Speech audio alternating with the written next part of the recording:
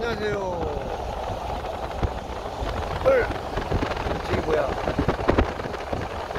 어, 어, 생각이 안 나요. 날씨가 추워서 그런지.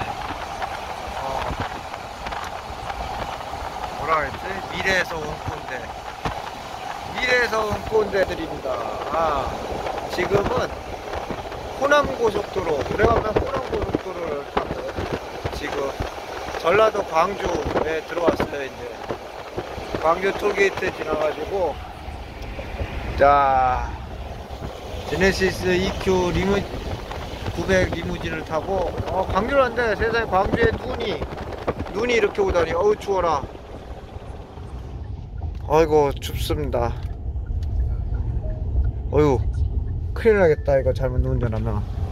이야, 완전히 차가 완전히 우와 코너 이제 이제 광주 시내 들어가는구나. 이제 제가 있잖아요. 광주.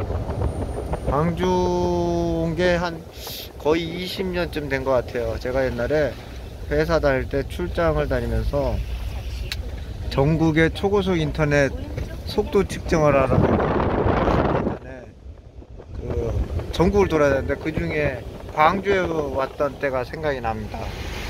아주 그냥 그때 광주지사장님이 그냥 그냥 우리들이 한, 한 2, 30명이 갔는데 그냥 나와가지고는 인사를 하고 전부 다 그냥 회식을 하러 갔지요. 20년 전 얘기입니다. 세월이 이렇게 빠를 수가. 지금 그 회사는 없어요. 어, 다른 회사에 인수 합병이 돼가지고 지금은 완전히 다른 회사가 되어 있지요. 그때 저랑 같이 근무했던 아저씨들이 아직 있는데 뭐 다들 부장이죠 부장. 음, 그 인사 적체가 돼가지고 승진을 못하는 것 같더라고요.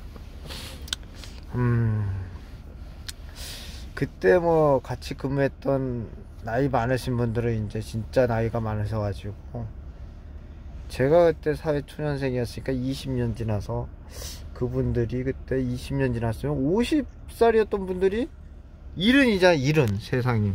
믿을 수가 없네. 50, 그 당시 50이었던 사람이 일흔이라니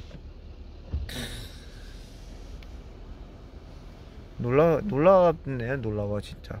50인 사람이 20년 지나니까 일흔이 된다. 당연한 건데 왜 이렇게 놀랍죠? 40이었던 사람이 지금 60이 됐겠네요. 야 놀랍습니다. 세상에. 내 나이도 놀라는데 어쨌든 우와. 진짜 눈이 많이 왔네요. 아니 서울엔 눈이 없었는데 세상에 광주가 눈이 약 300m 어휴. 유턴입니다. 예, 제네시스 EQ900이 좋아요. 이게 뭐냐? 이 두 개 있잖아요, 두 개. 왼쪽 저쪽 저쪽 거도 제가 조정을 할 수 있어요. 아, 편하다. 최고입니다. 잠시 어, 왜 이렇게 추워? 유턴입니다. 자, 이제 거의 다 왔어요. 이제 숙소로 갑니다. 갔다가 또 멀리 떠날 거예요. 멀리 떠나는 걸 또 또 보여드려야지 또 희한한 걸.